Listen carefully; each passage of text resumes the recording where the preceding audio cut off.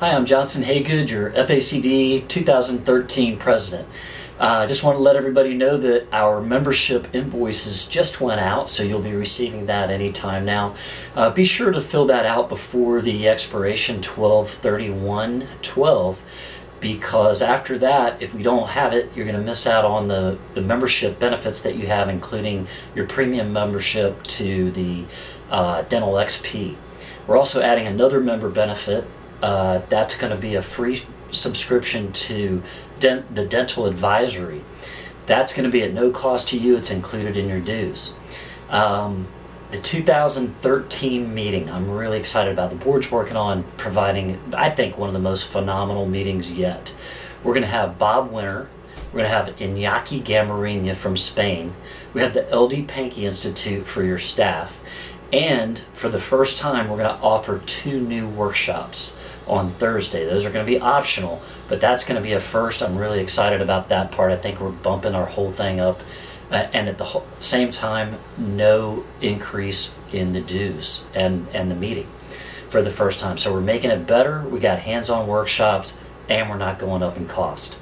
Um, if you're interested in leadership position with the FACD, uh, a good place to start would be with our uh, membership and marketing committee. If you're interested in that, call Lisa Camper at our corporate office in Tallahassee. The number is 866 608 3223.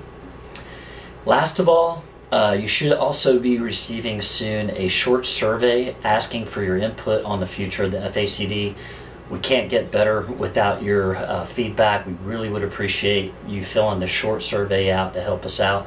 Meanwhile, when we look at the surveys that from the last meeting, uh, everybody was happy with the new hotel. They were happy with the content of, of our what our speakers provided.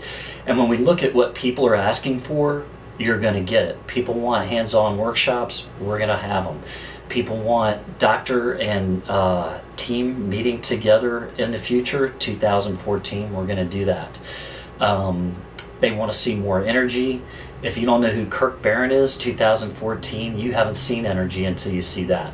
So when I look, when we look at the survey results of what people want for the future, it's all it's already in place for 2013 and 14. So I think every year we're just getting better and better, and uh, I look forward to seeing your surveys for that. Appreciate you sending those in, and we look forward especially to seeing you next September in 2013. Thanks.